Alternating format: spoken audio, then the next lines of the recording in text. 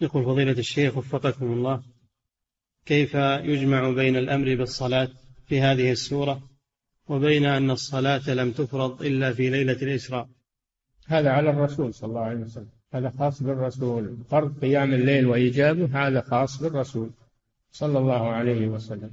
تهجد به نافلة لك نعم.